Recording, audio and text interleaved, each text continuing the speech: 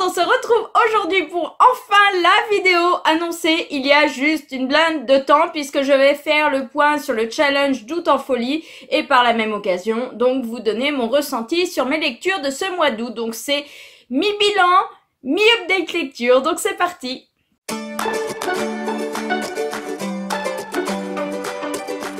Alors, alors, alors, si vous vous souvenez bien, j'avais fait un premier point début août pour vous présenter les livres que je comptais lire. J'ai pas repris la liste parce que je sais plus du tout où je l'ai mise. L'important, c'est surtout que j'ai quand même lu au mois d'août.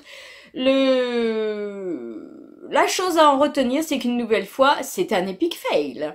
Voilà, je me suis cracouillée Bon, pas autant que j'aurais cru, parce que clairement, j'avais visé super haut avec 5000 pages à lire sur le mois d'août. Je m'étais dit, j'ai 15 jours de congé, ça va peut-être être, l'occasion de me foutre un coup de boost.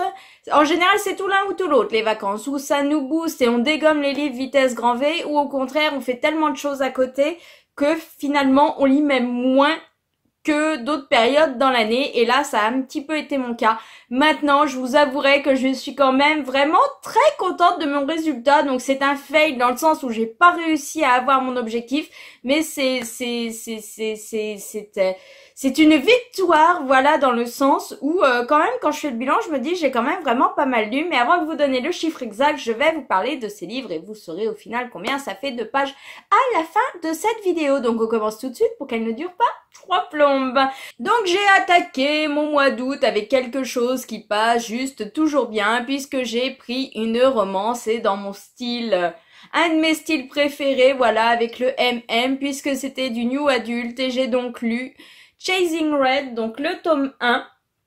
Euh, je crois que la série va s'appeler comme ça. J'ai vu que le 2 arrivait bientôt. Voilà, ouais, c'est Chasing Red aussi. Le deuxième, là, qui arrive d'ici euh, quelques jours, il me semble, sera Always Red. Enfin, c'est ce qui est annoncé derrière. Ils ont eu le temps de changer entre temps. Bref, une lecture qui faisait 410 pages pour commencer mon mois et qui m'a duré deux jours. Donc déjà, comme quoi les choses commençaient bien. Euh, voilà, j'ai vu des avis très mitigés sur ce premier tome. Maintenant, moi, je fais partie des gens qui ont aimé. Je vais pas vous dire que c'est la lecture de l'année, que cette histoire a changé ma vie, ma perception. Voilà, c'est une histoire euh, à la adulte, avec des situations compliquées, avec des personnages qu'on aime beaucoup, et mais en même temps, c'est pas simple. Voilà, donc on a, alors là, euh, autant vous dire que quand je finis un livre, deux jours après, je me souviens pas des prénoms, donc là, quasiment, ouais, deux mois après l'avoir lu, c'est, c'est juste mort. Donc Caleb, qui est la star de l'université, riche, beau, il a toutes les meufs, blablabla, bla, bla, bla, Et à côté de ça, on a, on a, on a, on a, ils ont pas mis son nom. Véronica. Oui, sauf que le problème, c'est qu'on se souvient à peine comment elle s'appelle, puisqu'il l'appelle Red. Voilà, euh, donc on va suivre euh, leur histoire, de leur rencontre, euh, à la situation compliquée, à la petite avancée. Bon, on sait que c'est une romance, donc il y a bien un moment de temps où il y a du cracouillage entre les deux. Sinon, quel est l'intérêt de faire une romance où finalement jamais il cracouille? Donc voilà, pour moi, comme je vous disais, j'ai vu des avis quand même qui, qui, qui adhéraient pas des masses. Et ben moi, ça l'a fait comme on m'a servi de bons personnages, de bonnes situations, voilà. Euh, c'est pas exemple défaut. Par contre, euh, c'est une lecture qui se, qui pour moi s'est suivie avec plaisir et je vous avouerai que j'ai même très très hâte de découvrir ce tome 2. Donc voilà ma première lecture du mois qui commençait donc plutôt bien. Ensuite, je me suis décidée pour un petit livre dont je vous ai parlé aussi lors euh, du book haul du mois d'août puisque j'avais craqué le le jour même après avoir fini ça en magasin sur le premier tome d'Agatha Raisin, donc la fameuse quiche fatale dont on entend beaucoup parler. Enfin, cet été, j'ai l'impression que c'est un peu partout. C'est recommandé par euh, beaucoup de monde quand tu vas en librairie ou, euh, ou même en, espace culturel ou quoi que ce soit. Isa m'en avait parlé, elle le voulait, elle l'avait pris, elle l'a découvert. Donc j'ai voulu me laisser tenter aussi. Et tant qu'à faire, je l'ai ramené, je l'ai entamé le soir même. Donc voilà, euh, une petite histoire à la on a un personnage d'Agatha pour lequel on se prend facilement d'affection. Voilà, elle est, elle, elle, est, euh, elle se laisse vivre. C'est pas une gonzesse prise de tête. En même temps, elle est un peu gauche. Elle a tendance un peu aussi à se parler à elle-même. Voilà, donc elle débarque. En fait, elle a décidé de prendre, de partir, on va dire en retraite, alors qu'elle a pas vraiment l'âge, si je me souviens bien. Mais voilà, de, de, elle a tout donné à son travail pendant toute sa vie et là, elle a décidé que voilà, elle allait vivre son rêve, s'acheter un petit cottage dans, dans, dans, dans, dans un trou paumé en Angleterre. Hein. Je sais plus où exactement, de quitter Londres. Ouais, bon, bref, euh, ouais, voilà, c'est ça. Elle prend une retraite anticipée. Donc, elle arrive dans ce nouveau village, sauf que c'est une mentalité très euh, entre eux, voilà, comme dans, beaucoup de villages, hein, un petit peu dans le coin, c'est euh, voilà, toi tu viens un peu de l'extérieur, donc on t'adopte pas comme ça, donc elle décide que pour s'adapter, elle va participer au concours de quiche organisé par le village et que si elle gagne à ce moment-là, mais les gens la verront bien, elle sera plus facilement acceptée. Souci étant euh, comme elle est carrément pas douée en cuisine, elle va s'acheter une quiche directement chez son traiteur préféré à Londres et il s'avère qu'en fait cette quiche va empoisonner quelqu'un qui va mourir. Donc sachant ce qui s'est passé, ça lui paraît pas logique donc elle va se lancer justement dans une enquête. D'où tout l'intérêt de, de la série d'enquêtes. Voilà, Agathe Raisin, je crois qu'on est rendu à 25 tomes ou je ne sais quoi en, en VO, c'est quand même hallucinant. Donc voilà, j'avais envie de découvrir cette histoire. Là aussi, c'est une lecture qui est très très bien passée, facile, simple, rapide, agréable a vraiment le petit côté british qui ressort bien dans l'histoire. Voilà, comme je vous le disais, le personnage, les situations, tout ça passe bien. Donc dans l'ensemble, j'ai passé un très bon moment et euh, c'est sans souci que je me taperai la suite. Voilà, le tome 2, quand je saurais pas quoi lire, que je voudrais un truc light, détente, un petit peu rigolo, ben ça sera la, la parfaite lecture. Donc comme vous voyez, mon mois d'août commençait très bien. Ensuite, j'ai continué avec une autre lecture puisqu'il me fallait un livre euh, aux couleurs de l'été que j'avais choisi celui-là celui ou celui-ci comme vous voulez. Euh, nos vies presque parfaite. Donc voilà, ça me paraissait light et en effet, c'était une petite lecture de saison avec deux meilleurs amis qui ont des vies diamétralement opposées. L'une, voilà, est à fond business, enchaînement, si je me souviens bien, de relations à très courte durée. L'autre est mère de famille avec son mari depuis qu'elle est au lycée. Ils ont trois enfants, voilà. Donc elles ont des vies vraiment opposées. Donc la, la mère de famille ne travaille pas alors que l'autre a une carrière de présentatrice télé. Voilà, il me semble que c'est ça, ouais. Donc euh, voilà, l'une en en fait, on va se rendre compte que ben, euh, l'une envie énormément la vie de l'autre et un soir, elles vont se prendre la tête à une, une réunion d'anciens élèves et elles vont se réveiller le lendemain, l'une dans le corps de l'autre, donc un peu à la Freaky Friday. Et, euh, et voilà, ou même un film là que j'ai vu il y a pas longtemps avec Ryan Reynolds, euh, c'est dans le même genre avec son meilleur ami, change de vie, c'est totalement le même genre de truc. Donc rien de totalement inédit dans cette histoire, c'est assez prévisible, il n'y a pas de grand grand mystère sur le, le, final, mais euh, c'est quand même une lecture qui était, voilà, pour ma période de vacances, c'était une très bonne lecture et c'est exactement ce qu'il me fallait, un truc dont je pouvais lire d'un coup 50 pages, un coup 10, euh, sans oublier de moult détails qui auraient fait que j'étais perdue. Donc là aussi, très très bonne découverte, enfin très bonne découverte, voilà, une lecture comme il me le fallait sur le moment. Ensuite, j'ai décidé que quand même les lectures bien mignonnes, c'était sympa, mais qu'il m'en fallait un peu plus. Donc j'ai décidé de sortir en lecture commune avec Emily le dernier tome de la série Markman, donc Asa de Jake Ronover. Je l'ai laissé traîner plus d'un an celui-là, ça, fait belle lurette que j'ai lu le tome 5, mais c'est vrai que là, comme c'était le dernier, j'avais pas vraiment envie de finir la série, malgré le fait que j'avais énormément envie de découvrir l'histoire d'Aza, parce qu'Aza, il est quand même particulier, ça fait pas partie de ceux qu'on rencontre dès le début, mais on en entend parler, il me semble, bah oui, dès le tome 2, vu que euh, sa sœur Eden, si je me souviens bien, est le personnage féminal principal. Et donc Asa, il débarque un petit peu dans tout ça. Il me semble que c'est tome 4 ou quelque chose comme ça, vraiment en, en présent, voilà, au quotidien. Et donc c'est vrai que ben voilà, même Royal, c'est un personnage qu'on a découvert il y a pas super longtemps et j'avais hâte de découvrir leurs histoires en sachant que Asa quand même c'est quand même à la base un petit con. Même s'il a beaucoup évolué, ben quand même, hein, il garde, euh, il n'est pas changé du tout au tout. Donc voilà, j'avais hâte de découvrir son histoire.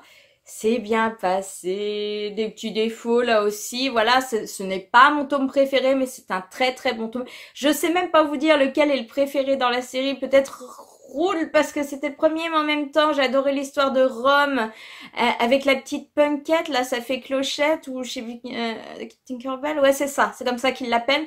Voilà, j'ai adoré Nage, j'ai adoré Roddy. En fait, non, j'ai adoré toute la série et Asa se grève très bien aux autres personnages qu'on a déjà rencontrés précédemment. Donc, euh, une très très bonne lecture. Vous voyez, on continue dans, dans, très bien. Puis alors là, tant qu'à faire, je me suis, j'arrivais tellement pas, j'ai essayé de prendre d'autres lectures, mais j'arrivais tellement pas à sortir de cette romance. J'ai dit, allez, traitons le mal par le mal. On prend une deuxième romance new adulte juste derrière, puisque je me suis lu le tome 1 de The Deal, donc de L. Kennedy, qui était sorti en poche chez Hugo Poche, donc. Et euh, voilà, depuis le temps que je voulais le découvrir, et c'est et quand tu lis ça, tu te dis mais pourquoi je ne l'ai pas lu avant? Et en même temps, tu te dis, mais j'ai quand même bien fait parce que euh, autrement, j'aurais tout acheté en grand format, alors que là, euh, il y a quand même les trois premiers qui sont sortis en poche et qu'en plus, j'ai acheté. Donc voilà, c'est quand même bien d'avoir attendu. Bilan de cette histoire. Ah là là là là. Anna et Gareth, alors là, c'était euh, c'était trop bon. C'était génial de la première à la dernière page. J'ai adoré, voilà. Euh, j'ai adoré les deux personnages, elle et lui. Et alors, euh, elle et lui, c'était top déjà séparément, mais alors les deux ensemble. J'ai, franchement, ça fait partie vraiment des livres que je relirais tellement j'ai passé un bon moment et tellement je n'ai pas vu les pages défiler alors qu'il fait quand même quasiment 500 pages. Bon, certes, petit format, mais en même temps, c'est écrit petit aussi.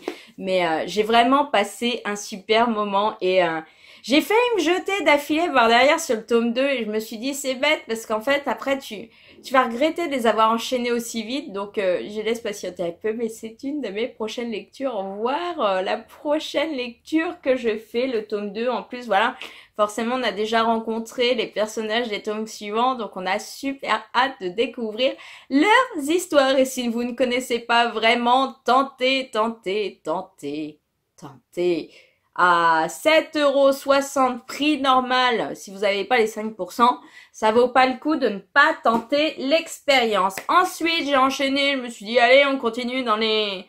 Soyons fous, non, non, on va pas prendre de la légèreté. 169 jours pour le faire, de Lindsay Rossin, donc chez Hachette. Et là, c'est vrai que je me suis dit, ça va être un livre, comme je vous l'avais dit quand je vous l'avais présenté, tout en... tout rien. C'est-à-dire que on va partir, donc euh, vous avez compris que euh, c'est quatre copines qui se donnent 169 jours pour passer à l'acte, euh, alors qu'elles soient en couple, qu'elles soient célibataires ou quoi que ce soit, au bout de 169 jours, quand elles arrivent à la fin du lycée, avant de partir à la fac, elles veulent que toutes les quatre y, soient passées, elles font un pacte et voilà, elles se lancent là-dedans. Et le problème de ce genre de lecture, c'est que où c'est cucu la praline et à ce moment-là ça le fait pas du tout, où c'est très bien traité et à ce moment-là, tu, tu peux avoir un, un, espèce de très très bon livre et je comptais quand même sur cette deuxième chose. Dans l'ensemble, on se rapproche beaucoup plus de ça en effet que du truc cucul la praline malgré les, les, les réflexions pas toujours euh, très matures des personnages mais en même temps elles sont, elles sont jeunes donc ça colle avec. Ce qui m'a par contre un petit peu pour moi posé un souci dans ce livre, euh, et qui fait que plusieurs fois je me suis arrêtée, je me suis dit mince, ça, ça me gêne un peu. C'est arrivé plusieurs fois, j'ai trouvé qu'on on traitait ça quand même euh, avec un peu trop de légèreté pour moi. Voilà, on a l'impression que euh, leur première fois, enfin le fait de passer à l'acte, de coucher pour la première fois avec un garçon, c'est euh, un peu un espèce de jeu et c'est pas quelque chose d'important et que c'est en effet presque un concours ou quoi que ce soit. Voilà c'est traité pour moi avec trop de légèreté par moment. Je veux bien qu'on n'en fasse pas tout un pataquès, tout euh, voilà, qu'on se barre pas dans des trucs, euh, faut attendre le mariage ou quoi que ce soit, voilà. Mais c'est vrai que je trouve que c'est aussi important de pas faire comme si c'était rien. Voilà, il y, a un, y a un juste milieu à avoir et je trouve que ça n'a pas toujours été le cas au fil de cette histoire. Maintenant, dans l'ensemble, c'est bien traité et j'ai passé un bon moment, mais ça aurait mérité quand même de de pas de pas faire euh, c'est presque la pub là enfin je sais pas ça m'a posé un peu souci de de d'en faire complètement comme quelque chose hop c'est fait voilà hein, je prends le premier qui vient paf paf taf c'est fait voilà c'est un petit peu ça par moment et ça ça me pose un petit peu un souci mais bon dans l'ensemble c'était quand même pas mal traité. Ça aurait pu être bien pire. Ensuite, j'ai enchaîné avec une lecture pocket jeunesse. Et donc, le tome 2 de la déferlante, La colère des abysses Michael Buckley. Voilà, j'avais adoré le tome 1 comme je vous avais dit. J'avais ce tome 2 qui me donnait très très très envie depuis qu'il est arrivé et en même temps j'appréhendais un petit peu beaucoup, passionnément la folie. J'avais surtout peur en fait, euh, sachant que c'est une trilogie, que comme souvent on tombe dans un tome de trop tombe dans un tome de transition et que finalement il se passe pas tant de choses que ça c'était moins moins grave que ce que ce que j'appréhendais mais on est forcément ouais un peu dans le tome de transition. Été un peu frustrée par ma lecture. J'ai trouvé que par moments on n'avançait pas des masses. Pas autant qu'il aurait fallu pas autant que je l'aurais voulu en tout cas et qu'on on stagnait un peu euh, sans trop savoir. Voilà, on est entre deux, euh, on fait ci, on fait ça, je sais pas, attends, qu'est-ce que t'en penses? Voilà. Euh, par contre, l'avantage c'est qu'on apprend beaucoup plus de choses sur les alphas, sur sur tout ce qu'on avait suivi dans ce tome 1. Je veux pas trop en parler parce que c'est spoilant pour ceux qui n'ont pas encore lu le tome 1, mais au niveau du gouvernement, des réactions suite à la fin du tome 1, tout ça, que ce soit au niveau des alphas, au niveau des humains, on avance plus là-dessus. Mais mince, il est un peu frustré qu'on n'avance pas plus que ça. Donc par contre, Oh, comme d'habitude, hein, quand on se traîne un peu le long du tome, les 100 dernières, par contre, elles vont euh, ta ta ta ta ta, ça relance à fond les ballons. Ça vous motive plus que jamais à vouloir découvrir le tome 3. Donc la fin est très bien faite. Il n'y a pas de souci là-dessus. Mais avant, j'ai trouvé que c'était quand même un peu poussif et surtout, j'ai eu un peu de mal à me replonger dans les événements. Même si on me les rappelle, j'aurais quand même bien aimé, je sais pas... Euh, ah si, pourtant, enfin, ouais, carrément, un résumé du tome 1, parce que c'est tellement particulier comme monde que j'avais peut-être besoin d'un peu plus pour me replonger beaucoup plus facilement dedans, dans les relations, me souvenir qui, quoi, où, euh, enfin voilà. Donc, euh, donc euh, bien, mais, mais, mais, je veux tellement plus pour le tome 3 il a d'être à la hauteur, sinon je vais être frustrée parce que commencer par un gros coup de cœur avec un tome 1 et puis pas avoir ce que j'attends ensuite, ça va me frustrer sinon. Mais sinon, c'était pas mal et euh, la couverture est vraiment très très sympa. Ensuite, alors là, il a pas fait un pli, il a été bouclé en deux heures, deux heures et demie de lecture et encore non, j'ai dû faire une pause au milieu histoire de le savourer. Est arrivé, a été lu euh, dans la soirée même, fini. Euh, euh, navré de l'avoir lu aussi vite, Finding Cinderella, donc le, le petit spin-off, la petite histoire additionnelle qui est un petit peu reliée justement euh, à Hopeless et à son deuxième tome Losing Hope, voilà, puisque là on suit les amis justement des deux protagonistes des deux premiers tomes. Donc voilà, c'est un, une petite lecture puisque ça fait 200 pages, mais qu'est-ce que ça passait bien Du Colin Hoover, ça passe toujours au top. Le fait de retrouver euh, Holder, euh, voilà, tout ça, de retrouver les personnages qu'on a suivis dans les autres, dans, dans les, les deux autres livres avant, top. Mais là, le fait de retrouver cela qu'on a vite fait croisouiller et d'avoir vraiment une histoire dédiée. Alors là, c'était juste sans ça, c'est c'était trop chou, c'était trop beau, c'était pas cucu la praline, c'est c'est ça passait bien, c'était le coup de cœur du mois d'août et ah et là aussi c'est quelque chose que je relirai, je ne peux pas, je ne peux pas ne, m'arrêter là. Bon en même temps j'ai d'autres collines ouverts, mais les collines ouverts ça se relit toujours avec grand plaisir, même si c'est pas une découverte. Voilà, rien qu'au place c'est ça, vous avez découvert l'histoire à la base. Quand vous la relisez du point de vue de Holder ben, il y a un peu de neuf parce que vous avez son ressenti à lui, mais dans la trame de l'histoire, il n'y a rien d'inédit. Et c'est pas pour ça que ça passe plus mal. Donc voilà, une parfaite, excellentissime lecture. Et pour finir, le dernier tome. Oh ben non, mais j'en ai d'autres que j'ai commencé que j'ai pas fini. J'ai lu 80 pages de Openly Straight. Je vous mettrai une image là. Ah, je l'ai pas pris dans mon compte. Voilà, je l'ai commencé, mais on va dire que comme j'avais pas du tout le temps de lire la lecture VO, c'était très compliqué sur le moment. Et ma dernière lecture du mois n'étant pas finie, puisqu'elle est toujours en cours et pas grande avancée. Le tome 1 du Trône de Fer, euh, j'ai lu, j'étais à 50 pages, j'en suis à 200. 202 exactement. En gros, j'ai lu 150 pages. J'ai un gros souci, c'est que clairement, euh, j'adore. Mais le format méga brique lourde, pas pratique. Et euh, la lecture, j'ai du mal. Par moment, ça me pose pas de soucis. Mais je pense qu'en effet, le plus pratique, et c'est comme ça que j'ai avancé de 100 pages, euh, c'est qu'en fait, je l'ai chargée sur liseuse, ce qui fait que je la mets dans mon sac quand j'ai besoin de lire quelque part. J'ai pas ce problème de petite taille et de maxi, euh, de, de, lire 100 pages et d'avoir l'impression d'être avancé de 10, quoi, visuellement parlant. Et de deux, voilà, et de deux, j'ai trouvé en fait faut que je m'y remette, mais clairement, pour arriver à avancer dans cette lecture, il faut que je m'impose un rythme. C'est-à-dire que ça marchait très bien quand en fait je me suis imposé tous les soirs de lire un chapitre. Enfin, imposé, non, de moi-même à moi-même, juste pour avancer. Mais en gros, si je me mets un chapitre à lire par jour, ça, j'apprécie énormément ma lecture et j'avance, certes doucement, mais j'avance quand même toujours plus que quand je veux le reprendre et que je lis que ça et qu'au final, j'ai l'impression de pas avancer et que là, ça me désigne directement. Euh, clairement euh, l'envie de continuer à le lire. Je perds toute envie de lecture tout court. Donc voilà, Patatras Faut que je recommence comme ça. Donc voilà pour mon bilan. Si je fais le bilan de tout ça et que j'ajoute les 80 pages que j'ai lues du livre que je ne vous ai pas présenté ici, j'arrive exactement à 3089 pages. Et je trouve que pour 30 jours, ouais, 31 jours dans le mois, ça fait du 100 pages jour. Et franchement, vu comment se sont goupillées les vacances, eh ben c'est quand même vachement bien parce que je m'attendais pas à lire autant. Donc je suis contente de moi, même si mon challenge, mon challenge est échoué. Mais voilà, je voulais pas me mettre le cran dans le sou parce que le cran dans le sou c'était 2000. Et je me suis dit si je me mets 2000, je vais me dire wow, de large? Et puis en fait, je ferais même pas les 2000. Donc je préférais me mettre les 5000 pour dépasser sur les 2000 et c'est ce que j'ai fait. Donc dans l'ensemble très contente. Comme vous l'avez vu, de bonnes lectures vraiment, d'excellentes pour certaines, de d'un peu moins fun pour d'autres, mais voilà, un mois d'août qui était vraiment bien.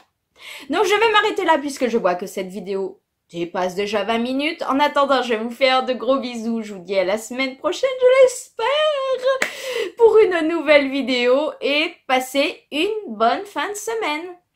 Bye